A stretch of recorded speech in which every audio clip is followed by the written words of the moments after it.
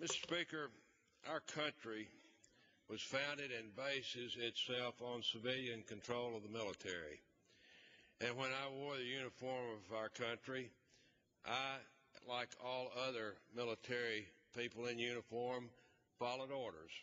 I obeyed my commanders and I tried to do whatever the mission was that was set before us. That's what you do in the military of the United States under civilian control. But I'm not a, in uniform anymore. I'm a civilian now, and part of that civilian authority. And it's our patriotic duty as part of that civilian authority to ask questions, to constantly re-examine the strategy, to constantly re-examine the policy of this country, to do everything we can to, one, accomplish our mission, and secondly, and as or more importantly, protect the men and women who are actually doing the fighting for us now.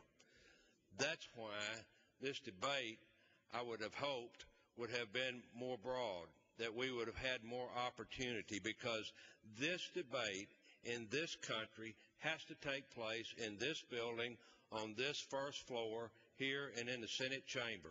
It is the patriotic obligation and duty of civilian authority to do that. And I'm proud to be here tonight.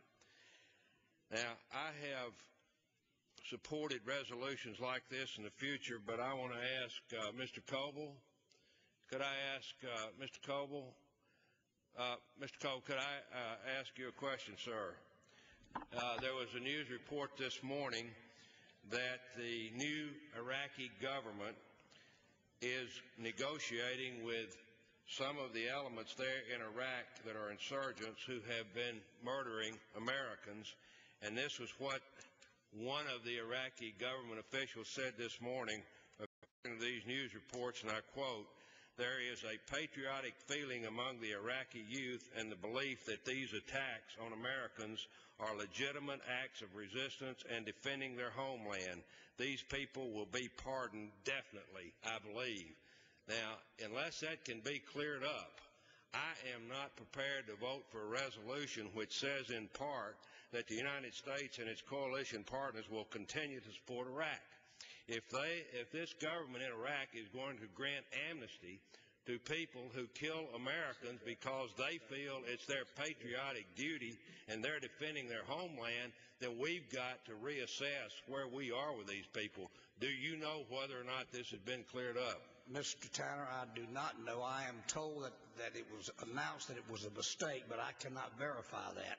And this is a case of first impression with me, what you just Well, said. I, I hate to, ca- I, I don't want to catch you off guard. Gentleman's but, time has but expired. We need to clear this up before we vote Yield on the this gentleman 30 resolution. more seconds. I don't Gentleman's think the American expired. people will Yield the support gentleman 30 a more seconds. government Gentleman's that recognized grants for additional- amnesty to additional people 30 who seconds. kill American soldiers.